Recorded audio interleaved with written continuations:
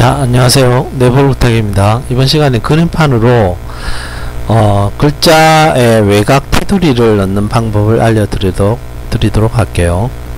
자 먼저 그림판을 여시고 어, 텍스트 버튼을 클릭해서 글자를 써 보도록 할게요.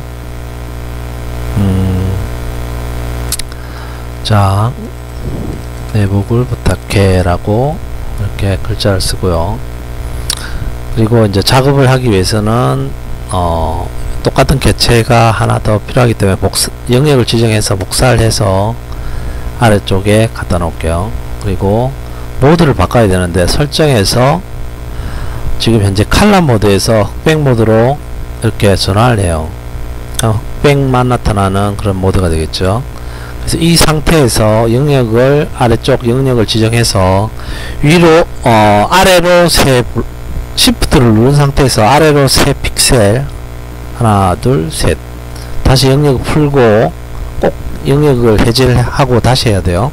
다시 영역을 지정하고 다시 우측으로 3픽셀. 하나 둘 셋 자 이 지금 현재 아래쪽에 작업이 된 영역은 어, 글자의 외곽 테두리가 될 부분이에요. 자 다시 한번 확대를 해서 보여드릴게요. 그 위에 있는 부분은 글자의 색이 될 부분인데요. 이제 색을 다시 넣어야 하니까 흑백 모드에서 다시 칼라 모드로 다시 바꿔주고요.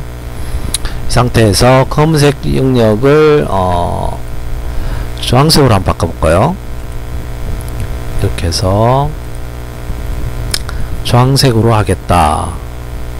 고 이렇게 물론 뭐 핀트통으로 이렇게 부어도 되겠죠? 네.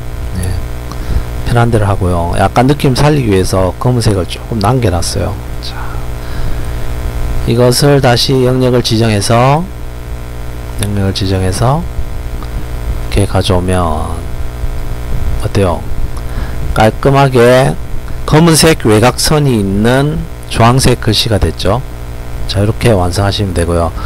뭐 하는 방, 방법은 똑같으니까 이제 다양하게 응용해서 여러분이 원하시는 방, 색깔이나 디자인으로 이렇게 사용을 하시면 되겠습니다.